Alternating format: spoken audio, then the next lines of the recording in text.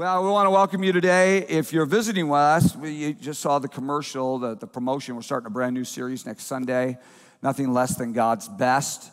Many times, uh, uh sometimes the series will sync up one to another. We'll finish a series, then we'll start a series, like boxcars, if you will, and the train's rolling.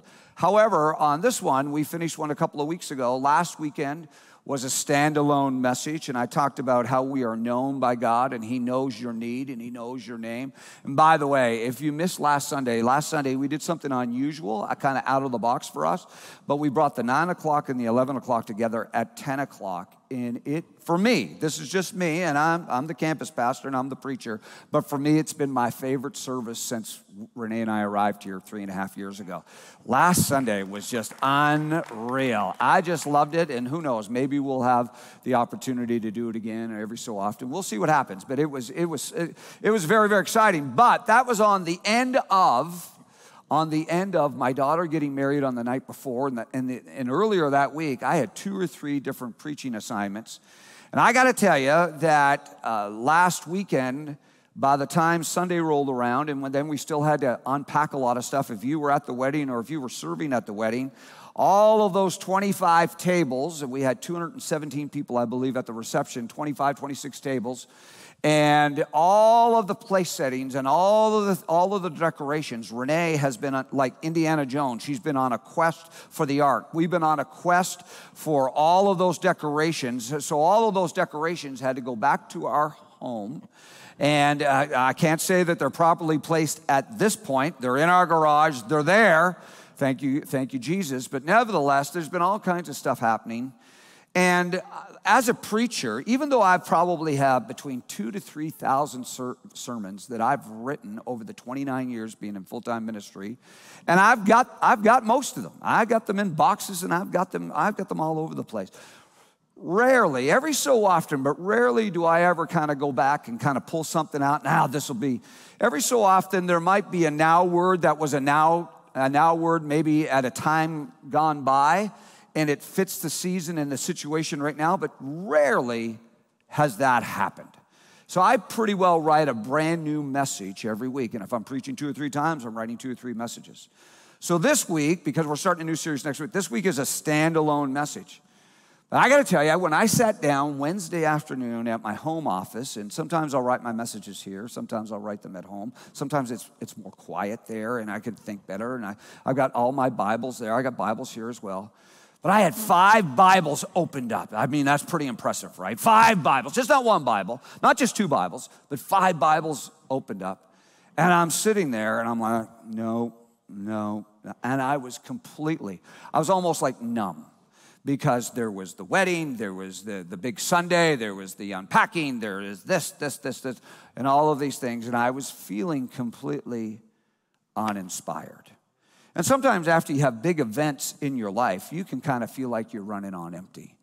And, and you need time to recover. And I got to tell you, as a preacher and as a dad, I felt like I was in a recovery Wednesday afternoon. I was looking at the Bible and just staring at me, kind of like that, just the black and white print. I wasn't getting anything. And sometimes you got to recover. As a, as a dad and as a preacher, last Wednesday, man, I was recovering emotionally because I gave. I have three daughters. She was the first one to get married. Kennedy, the oldest. And man, that's emotional, man. It was emotional uh, being part of that, walking her down, and then being part of the ceremony and everything else. So there was an emotional recovery. There was a physical recovery. I was like, man, that was exhausting. And I'm not recovered from this yet. I have recovered. I'm recovering on those other, but this one's a longer term, a financial recovery. Can I get an amen? Those weddings will take you to the brink. Hallelujah. I'm on the brink right now. Hallelujah. That's why you got to keep continue to put God first. Amen. That's a good place to say amen. That's a great place to say amen. Amen. Well, I'm going to go on anyway.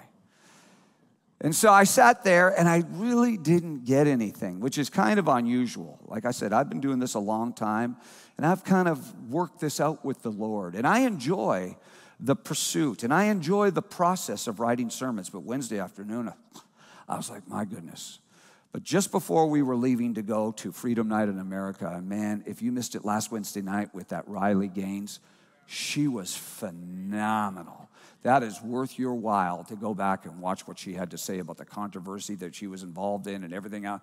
She was so well spoken and just was able to articulate a common sense side to some of these things that, that are unfolding, not just at the meet that she was in, but basically across the country in athletic departments all across the land. It's scary and it's, I can't even believe we're having the conversation. Anyway, by the time we were leaving, I started to get it, and not unsurprisingly, many times when I preach, it's either something that I've just dealt with or that I'm dealing with, or that God is even proactively preparing me and I'll find myself preaching a message that two weeks down the road, I was like, huh, I, I, I guess that's what that was for. And as God began to deal with my heart uh, Wednesday afternoon, by the time I sat down on Thursday, God spoke something to me for me, but I feel like I'm going to share it with you today. And my title this morning is simply Just Be There. Just be there. And I find this in Matthew chapter 6, and I'm going to read from the message paraphrase. There's a lengthy portion before I get to the actual title, but follow along with me. It says, Be especially careful uh, when you're trying to do good so that you don't make a performance out of it. That might be good theater. But the God who, who made you won't be applauding. Uh, when you do something for someone, don't call attention to yourself. You've seen them in action, I'm sure, play actors. I call them treating prayer, a, a prayer meeting and street corner alike as a stage acting as compassionate as long as someone is watching. Basically, a photo op. Playing to the crowds, they get applause. It's true, but that's all they'll get. And when you help someone out, uh, don't, do, uh, don't just think about it, but just do it. Now, let me just, I highlighted that because for me, naturally, that's my wheelhouse right there. Those kinds of thoughts, those kinds of titles, those kinds of themes because I'm task oriented. Give me a job. Yes, sir. I'm a good soldier. I can take my commands. I can take my orders. Give me a job. I'm going to get it done. You don't have to. You, you, don't have to follow up with me. I'm going to do it. The Bible actually says we're all to be like that. It, it says in, uh, in Proverbs chapter six, "Go to the ant, you sluggard." Who does not need a, a captain over it or an authority figure, somebody to basically make sure that they're getting it done because the ant is going to get it done. And we are to be ant like that in, in that regard. And I'm like, oh, okay, okay, okay. Because I was reading through this and I'm like, yeah, just do it. Just do it. Like, that's me through and through and through. Especially anyone in here has read the birth order book by Kevin, Dr. Kevin Leman. And I'm a firstborn. And man, there, there, there's pluses and minuses, there's things that are neutral. But I'm classically, for better and for worse, a firstborn. There's an upside to that, there's a downside to that. But among other things, firstborns are like, take charge, let's go, we're gonna get it done. We're gonna, we're taking this past the one yard line, we're going in for a touchdown, unlike what the cards will probably do today. We'll know. We'll, we'll, we'll see what happens. Amen. So anyway, anyway, I thought, oh yeah, yeah, yeah, yeah, yeah, yeah, yeah, yeah. But that's that's the issue. And that sometime is, for me anyway, my very undoing, because I want to go, let's go, let's go, let's go. So reading on. That is the way that your God, who conceived you in love, working behind the scenes, helps you out. When you come before God, don't turn it into a theatrical production either. All these people making a regular show of their prayers, hoping for their 15 minutes of fame. Do you think that God sits in a box seat? Here's what I want you to do find a quiet, secluded place so you won't be tempted to role play before God. Notice this just be there as simply and honestly as you can imagine, as you can manage. Now, notice this the focus will shift from you to God, and you will begin to sense His grace. And if you and I will put this into practice, and if we will do what the word says here, just be there, something supernatural will begin to happen. There is a shift that occurs. And in those moments, there's an exchange, there's, there, there's an encounter, there, there's an experience in the presence of God where you will begin to sense His grace. This morning, I, I, when I felt like I was running on empty, and I knew that God was going to refresh me and God was going to recalibrate me, God was going to replenish. I knew that. I know that. But in that moment, instead of just going, going, and, and I was bound and determined, I was gonna write this sermon. I was gonna will it out. I was gonna like grind it out. Arr, I'm gonna, I'm gonna write this sermon. And God's like, that works for you sometimes, Todd. But right now, it ain't happening. And I had to learn again that sometimes you just, and it's a cliche, but there's a lot of truth to it. Sometimes you got to let go and let God and just be there. So, for the next few minutes, I, I want to talk about amazing grace. It says that you will begin to sense His grace. And grace can be one of those words in our vocabulary that it can kind of, I'll be thrown into this blender, uh, hit puree, and what is it? And there's all kinds of definitions and there's all kinds of labels, there's all kinds of understanding sometimes that support it or actually unsupported. Doesn't support it at all, but people just kind of kind of have thrown it all in there. I read a book a number of years ago by Philip Yancey on it's called The Jesus I Never Knew. And the eighth chapter is under the under the heading of Mission, a Revolution of Grace, because that's essentially what Jesus came for to bring a revolution of grace. He was a revolutionary of grace, the embodiment of that revolution. And what he did, man, he really upset the apple cart because the Jews in their day, they, they, they had a hierarchy system, a, a, a, caste system, a class system. And you were this close to God if you could attain this, and you were this close and this level and all this kind of stuff. But what Jesus did, he came in, he flipped that whole script, and basically he leveled the playing field and he said, All are welcome. Listen, there's a place at the table for you. There, there, there's a spot that God has reserved with your name on it. And it really upset the religious figures of the day because Jesus came and represented and brought a revolution of grace. So I want to talk very briefly today about five different things that I, this week, as I thought about it, associated with grace. And one would be probably the most familiar. Number one, a grace that saves. It says in Ephesians 2, and I won't read all the scripture, but essentially it says that we're saved by grace and not of our works. It, it is the gift of God. And why is that? It, it's so that none of us can boast. Look what I did. Look how hard I worked. Lord, I, I did this, this, and this. Therefore, I deserve God's righteousness. I, I deserve God's favor. I deserve all of the blessings that God has. And here's the thing God he, he's not going for that.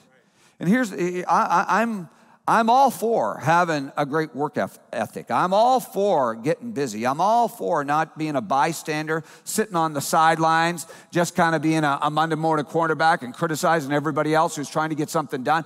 Absolutely not. But at the end of the day, we are not saved by our works.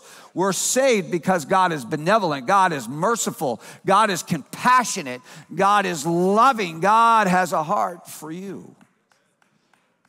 And it's that grace that saves us, no matter how hard you work, no matter how hard you try, no matter how deserving you might be in the eyes of everyone else, no matter if you take all of your lifetime good works and put them all on the table and say, check it out, God, all of those good works are still not good enough. And we're saved by grace. And I love it that it's a level playing field for you and it's a level playing field for me. No matter what you've done or no matter what you haven't done. And God has grace enough to cover us and to cleanse us and to change us and to save us. And then it goes on to say here in Ephesians 2:10 that once we are saved by that grace, there are there are we are saved for his, we are his workmanship, and that is a Greek term, poiema, from which we get the English term poem. And you got to understand that once you get saved and you give your life to Jesus, your life, it doesn't become perfect. It doesn't become problem free, stress free. That's not real life. You're still going to have challenges. You're still going to have bad days. You're still going to have things when things go, are going in the opposite direction of the direction you hope that they would go. That said, unless you have Jesus in your life, your life will never fully make sense. It will never fully synchronize. And it's only the saving grace that allows us to understand that we are the poiema, we are the poems, and we have, there's a rhyme and a reason, a harmony that fills our lives and floods our lives, and we begin to make sense of this life. And, and that poiema gives us meaning and it gives us dreams and hopes and destinies. And the heart of God becomes the heart of man. It, uh, God's, we begin to take our pulse and it's the, it's the heartbeat of God that is beating within us. But that doesn't happen until you experience the saving grace. Number two, it's a grace that seeks. And I really like this one because I've experienced this seeking grace. It says in Jeremiah 31 20, 31 2, I should say, Thus says the Lord, the people who survived the sword, they found grace in the wilderness. And I don't know about you, but I've had periods of my life, sometimes sadly, by my own choices and the consequences that I provoked, because choices provoke, provoke consequences, for better or for worse. And because of bad choices I made, I found myself at extended seasons in my life in the wilderness. I found myself sometimes when I, I, grew up in a great Christian home. You've heard my testimony many times. Godly mother and father grew up in church, Sunday school, you name it. Crusader of the Year, man, in 1973. Go Todd. And yet, and yet, in my late teens and early 20s, went a completely different direction. Bouncer in a nightclub, partying all the time denying God, betraying God, turned my back on my upbringing, my faith, and everything else, and yet found grace in the wilderness. A grace that sought me out. In the message paraphrase, it talks about they were out looking for a place to rest. And notice, I got this highlighted. They met God out looking for them. And many times we say, and it's not inaccurate, and you don't have to say, oh man, I regret ever saying that. I didn't know what I was saying. But we do say, I found God. What happened to you, Todd? Well, I found God. No, here's the reality God found Todd. God found me. In the most obscure, in the most barren, in the most desolate, in the most desperate times of my life, in those seasons that I was responsible for placing myself in, and yet God sought me out. The Bible says in the New Testament about Peter, who betrayed Christ basically to his feet, uh, to his face, and knew it. Jesus said, You're gonna do it. He's like, No, not me. Everybody else, these guys are losers. I'm a winner. I'll never deny you. And yet, who is that? Well, I don't know who that is. Hmm, no, no, I'm not with him. Not at all. Denies Christ, betrays Christ, but upon resurrection, what happens? Jesus goes looking for Peter. And let me tell you what, I've been Peter too many times. God has come looking for me. He's found me. He's restored me. He's redeemed me. He's loved me. He has saved me. Can somebody say amen? So it's a grace that seeks. Number three, it's a grace that, that sustains. In the New Testament, in 2 Corinthians chapter 12, this is the portion of scripture where Paul, who used to be Saul, who hated anybody associated with Christ, that basically he is he's got them in the crosshairs, wants to take them out, wants to take them down, wants to basically eradicate the earth of anybody who are followers of Christ, followers of the way, man. He was he was he was he was after it and after them. Wanted to haul them away, throw them in jail, and worse. And yet he has this conversion. He sees the light Eh, eh, he, he, has, the, he has this, this, this epiphany. His world is rocked and changed, and he basically, in the process, has his name changed from Saul to Paul. And I mean, he's walking with God and he's rocking in ministry, and, and lives are being changed, and history's being written, and people don't even know what to think about it. And, and, and God is using him undeniably, powerfully, it, miraculously. It's like, what is going on with this guy? And yet he has this thorn in his flesh and he's praying. And you got to believe that Paul's prayer life was pretty dialed in.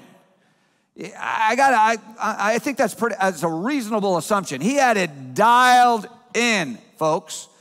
And he prays once, twice, three times. He's like, God, I've got this thorn in the flesh, and there's a lot of speculation what it was or what it wasn't. We won't, we, we, we won't have that conversation. Nevertheless, it was painful, it was hurtful, it was difficult. It wasn't pleasant at all. It's like, oh, goody, I got a thorn in the flesh. No, no, no, no, no, no. This was tough, and this was a test.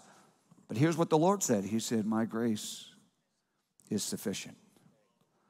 I'm not going to remove it, but I'm going to give you a revelation in the midst of this time, in the midst of this trial. And this revelation is actually going to be greater than the difficulty that you're experiencing. Doesn't remove the difficulty, but it's going to give you what you need to overcome it in the midst of it. Without, without taking it away, and I shared this in the first service at 8.50 this morning, I was getting mic'd up at the back. And Jeff, uh, one of our captains on our hospitality team, me. He said, Pastor, he's like, I don't know if I should bring this to you or not. I know you're getting ready to preach. But there's a mom here that just showed up and she's distraught because last night her son was shot and killed. And do you think you could speak with her just for a moment? And I wrestled with it, folks. I'm like, oh, I, I, I. and I said, yes, yes, yes. I said, get Janet Heyman meet me over here where the Spanish interpretation room is. And Janet and I went over and we met with her. And what do you say? Listen, I've been pastoring a long time. I, I know some of the Bible, not all of the Bible. I know some of the Bible. I know how to comfort and counsel people and offer them encouragement and consolation through, through the Word of God, which is what it's for. But in those moments, folks, if you've never done it, it it's, it's a different level especially with, with a parent that has lost a child. And so everything is fresh. They had lunch yesterday. He asked her yesterday, Mom picked me up for church today. They were coming to church this morning. He was killed last night. So, in the absence of having the right words, and not that, the, not that words could take away the pain or remove the grief and the sense of loss, and I explained to the mom, I said, by the way, I said, grief is a very natural thing. The Bible talks about there's a time to sing, there's a time to dance, but there's a time to grieve and there's a time to mourn. And I said, don't resist that. You don't have to suppress that. And, and she was, uh, I prayed with her, Janet stayed with her. She was in the service, in the nine o'clock service. And then as she left, she stopped at the door and I, I touched base with her again. And we're going to make sure that she doesn't walk through this season alone.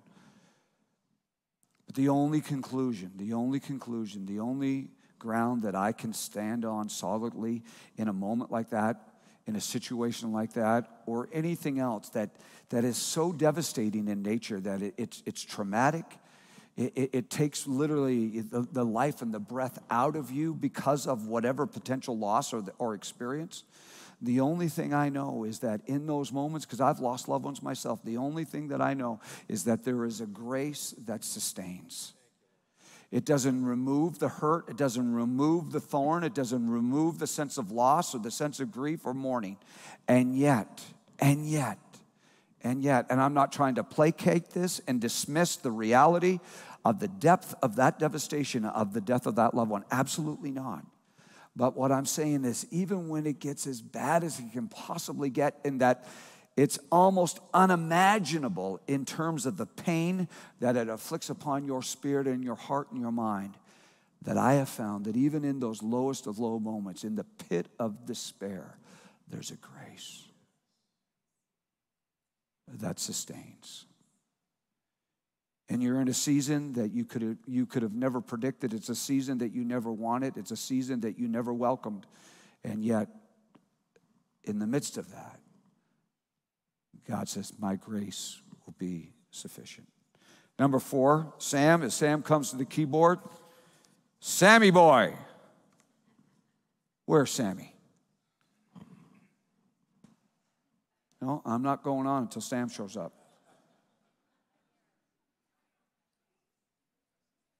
It's going to be pretty embarrassing, Sam. No. That's not fair. That's not fair. Sam, I'm going to have to buy you a Costco hot dog. I just paid you the ultimate compliment. Because in my world, Costco hot dogs are from heaven. Amen. Number four, grace that strengthens. Many times when people define God's grace, the, the word that comes to people's mind, the default definition is favor. And it's not wrong. Grace means God's un, unmerited, uh, undeserved favor. Absolutely. But it has another meaning as well. It means that it, there's a force behind it, there's a weight behind it, there's something, and better yet, someone behind it, backing it up. And in Acts chapter 4, it says, With great power the apostles gave witness to the resurrection of the Lord Jesus, and great grace was upon them. And what this means in the actual Greek language means that the force of God was backing them up. They just didn't have favor. Oh, and everybody was just kind of cordial and nice and complimentary towards them. No, they were encountering some great resistance, some great challenges. People were trying to disband them, break them up, you name it. Saul was still Saul at this point. He was half crazy. He wanted to take them out. And yet there was great grace upon them. They just didn't have favor, they had the force. And if you read in the Old Testament, second last book in the Old Testament, Zechariah, a lot of people, and I love it. Eh, I was raised with this verse, especially being growing up in a Pentecostal church. Not by might, nor by power, but by my spirit, saith the Lord. That's Zechariah 4 6. Zechariah 4 7 talks about Zerubbabel, who was tasked with the responsibility of rebuilding the temple. And it says that, listen, here's what we need him to do with shouts of grace, grace to it. He's going to bring out the capstone. Basically, he's going to put the last stone in place. Boom. Job completed. And so he was he was tasked to start it, and the word and the promise and the prophecy was that he's going to see the completion of it, and he's going to have a grace to get it done. There's going to be a force of God. It's going to be sovereign. It's going to be supernatural. It, it, it's going to be something wonderful. God's going to step into that overwhelming responsibility. He's like, Where do I start? What in the world? And he gets that, not by might nor by power, but by my spirit, saith the Lord. Yes. And then they said, With grace, grace, shout to it. And so many times when we think of grace, it's like, okay, who's saying grace? You saying grace? You got a grace, grace? We get at a table. I promise you, what this is implying in Zechariah chapter 4 was not their lunch break and somebody was saying, Hey, is somebody going to say grace? No, it was much more forceful. It was much more intentional. It was much more God centered than, okay, okay, Lord bless this food. Amen. It was like, this job is bigger than I am. I need the Holy Spirit. I need grace. By the way, if I'm not mistaken, I believe in Zechariah 12 the Holy Spirit is actually referenced as the Spirit of grace. I'd have to check that out. It's either chapter 10 or chapter 12. I didn't put that in my notes, but it just come to me now. The Spirit of grace. And the Holy Spirit, yeah, many times we talk about the Holy Spirit as, as a gentleman. Yes, yes, he is. But the Holy Spirit is not to be messed with. He's not to be messed with when God's work is to be done. There's a force there, there's a favor there but there's a force there. Amen?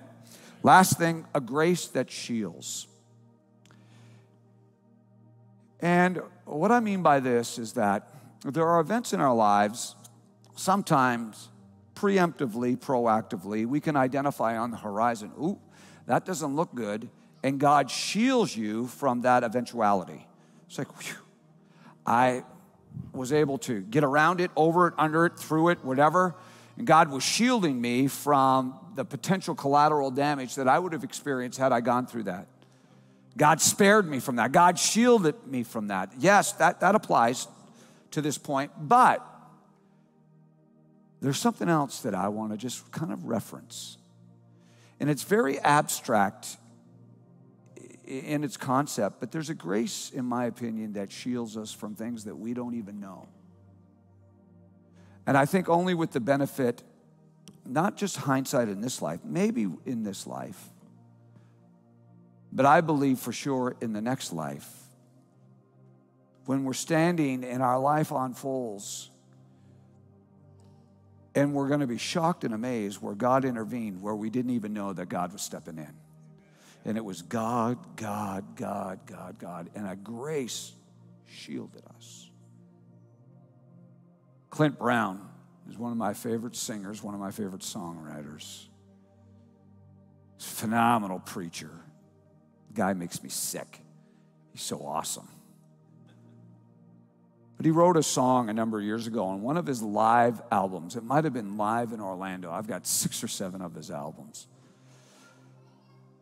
And he tells this story that he was, and his entire team were flying from Orlando, where he pastored, Faith World, and they were doing a big conference in Dallas. And uh, they decided, because of the timing and everything else, that they were going to rent a private jet and so they get to the airport and he's excited. He's like, yeah, yeah, yeah, yeah, yeah. And he was very meticulous in picking out this jet. The, the knots it could fly. Is it knots in the air? I know it's knots in the water, but is it knots in the air as well? I don't know. Uh, we had some pilots here in the first service. No pilot. I don't know if we have any pilot. Miles per hour. Who, who the heck knows? It's going fast. Faster than driving. And he, he picked it because of this, and they, I don't know how many people they had on their team and everything else. They get to the airport and they're like, Mr. Brown, sorry, you, you can't take this one. It's not quite ready. And, da, da, da, da, da, da, da. and he was ticked. He's telling this on the live album. He's like, man, I didn't want to take another jet. And he, and he says this. He's like, man, the jet I've, it could go 240 knots or miles per hour. He said the one they gave me could only do 220. So like it's a small difference, but it was like mm, I paid for the one that could go faster. Now I got the got the one that goes go slower. But he says, he said, you know, I had no idea what I was arguing over, and he said, please, I'm not making light of the situation, but he said this was a grace that, for whatever reason, shielded me. But he said someone else rented. They had that plane rented, that jet ready to go later that day and this made national news, and you can look it up later. I don't want to get into the details. But there was a party that was flying on it with some nationally known people. And uh, the air traffic controllers detected there's some irregularities, and they brought up two jets flying beside it, and all the windows were basically cased over and clouded over, and they couldn't make radio contact, and everybody on board was unconscious. And basically, they could not salvage the plane, and the plane had to run out of gas, and it crashed, and everyone died. And Clint Brown is telling the story. He's like, I wanted that plane. I should have been on that plane. I demanded that plane, and I could have waited for that plane. And he sat down, and it's one of my favorite songs. And he wrote a song, it, If Not for Grace. And the lyrics say this Where would I be? You only know. I'm glad you see through eyes of love a hopeless case, an empty place,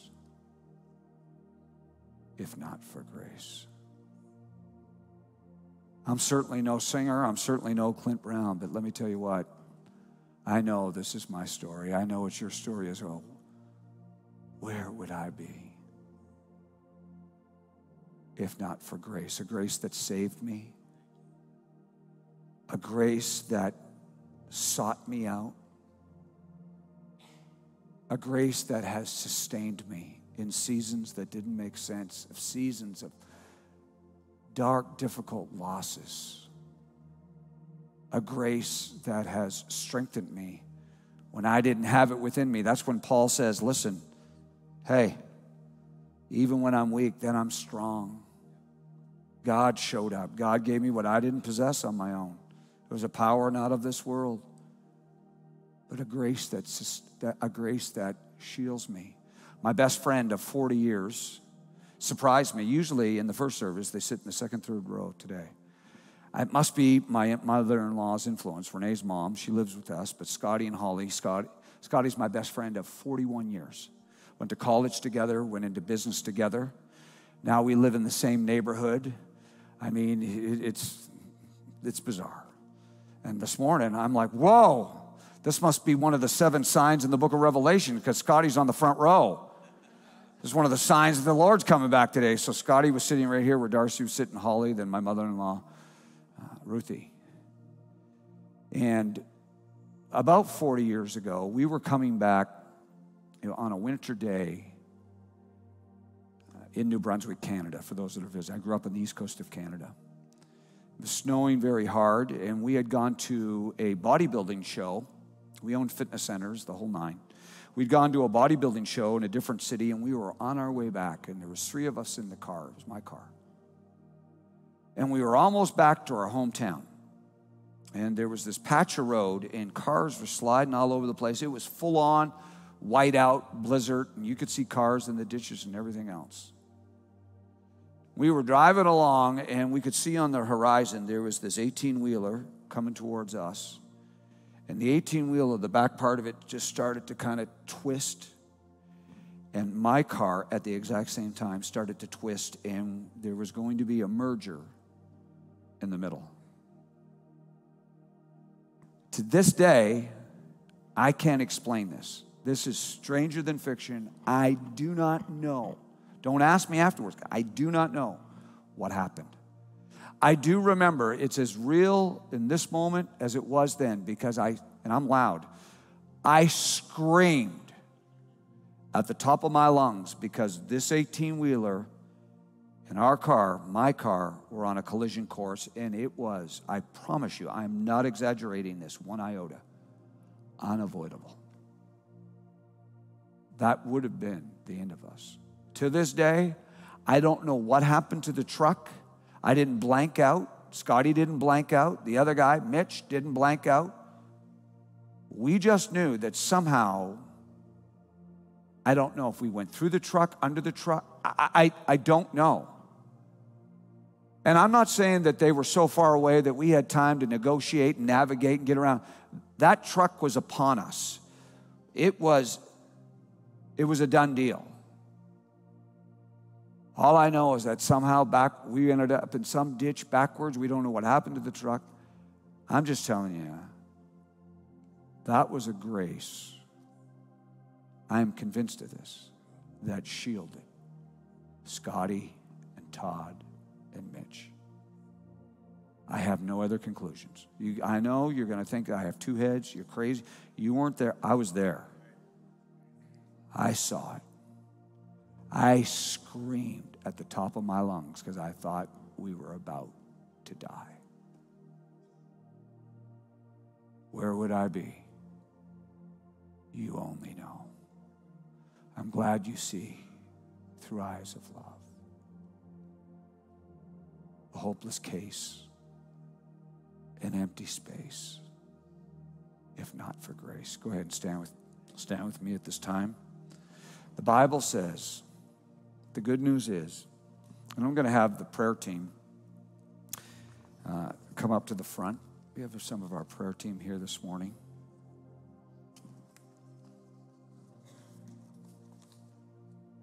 I usually see Ted because Ted is six six, And uh, but Ted has lost his standing because Brad is six eight.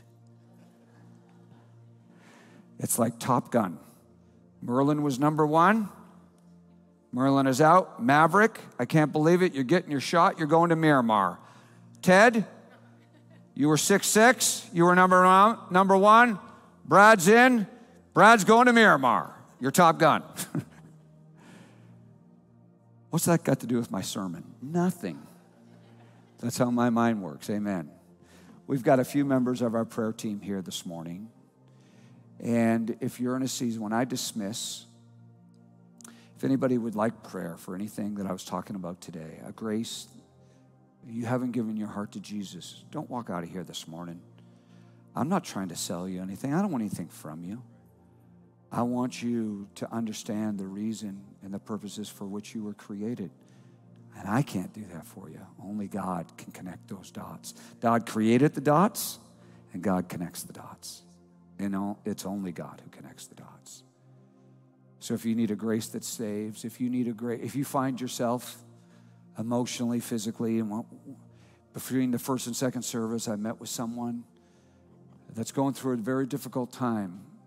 uh, in one of their significant relationships and they find themselves in a wilderness. Well, there's a grace that seeks you in the wilderness, there's a grace that sustains you, even when the losses are unimaginable. It just doesn't make everything okay and puts a smile on your face and you're just perky. But in the midst of that grief, in the midst of that mourning, there's a grace that will get you through it. Through it. Doesn't make everything better, doesn't make the loss any lighter, but it gets you through it. There's a grace that strengthens. it. sometimes we just need the force of God to come up and kind of shore up our loose ends. Just pour that strength into you. and Say, listen, I don't got it, but He's got it. I'm on my way. And there's a grace that shields. But like I said, many times we don't even know how good God has been because He shielded, shielded us from things that we weren't even aware of. That car accident that could have happened didn't happen that tragedy that, that was headed that way was somehow self. I, I don't know. But if you would like prayer for anything related to this grace message, you can come and have prayer for it. The last thing I want to say, I wrote it down. I thought it was so clever. My message is called Just Be There. So it ends with a question such a smarty pants. I'll be there for you. This is what God is saying. I'll be there for you, which is also a Bon Jovi song. But I'll be there for you. But then God says, I'll be there. Will you? Just be there. And this is a lesson for me. I'm like, yeah, yeah, yeah, yeah, yeah, yeah. Hamster on a treadmill. Yeah, yeah, yeah, yeah, yeah. Let's get going. God's like, Todd, there's times when I need you to run. But there are times when you just need to be there. Let's pray. Heavenly Father, this morning, thank you for this crowd. Thank you for your sons and daughters. Thank you for people that have an opportunity to experience grace, that they can begin to sense your grace. So, whoever I'm speaking to today, and maybe there are so many other things they're sensing and feeling and fearing in their lives, Lord. If we can just be there, something will begin to occur. And sooner or later, we will begin to sense your grace. Let your grace be sensed. Let your grace be felt. Let your grace become real to every person in here today. I ask this, Jesus, in your name. Amen.